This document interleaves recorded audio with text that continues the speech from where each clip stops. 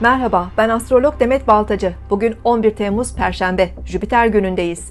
Ay gün genelinde Başak Burcu'nda ilerleyecek ve çok sayıda açı var bugün gökyüzünde. O yüzden hareketli bir gün geçirebiliriz. Ancak günün enerjilerini iyi değerlendirirsek verimli ve başarılı bir günde olabilir.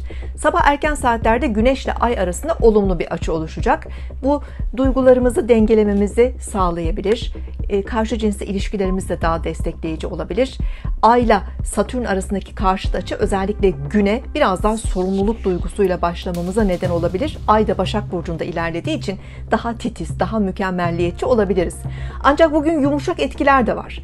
Venüs ile Neptün arasında güzel bir su üçgeni var. Güneş ile Satürn arasında yine güzel bir su üçgeni var. Yani gün genelinde içinde bulunduğumuz şartları anlayışla kabullenmemiz, ilişkilerde empati yapmamız, sezgilerimizden yararlanmamız, biraz daha maneviyata yönelmemiz mümkün görünüyor. Özellikle bu etkiyi tabii ki su burçları, yengeç, akrep ve boğalar çok daha güçlü hissedebilir. Öğleden sonraki saatlerde ise ay önce boğa burcundaki Mars'la ardından da Uranüs'le olumlu bir açı yapacak. Enerjimizi daha dengeli kullanabiliriz. Bazı sürpriz gelişmeler akşam saatlerine heyecan katabilir.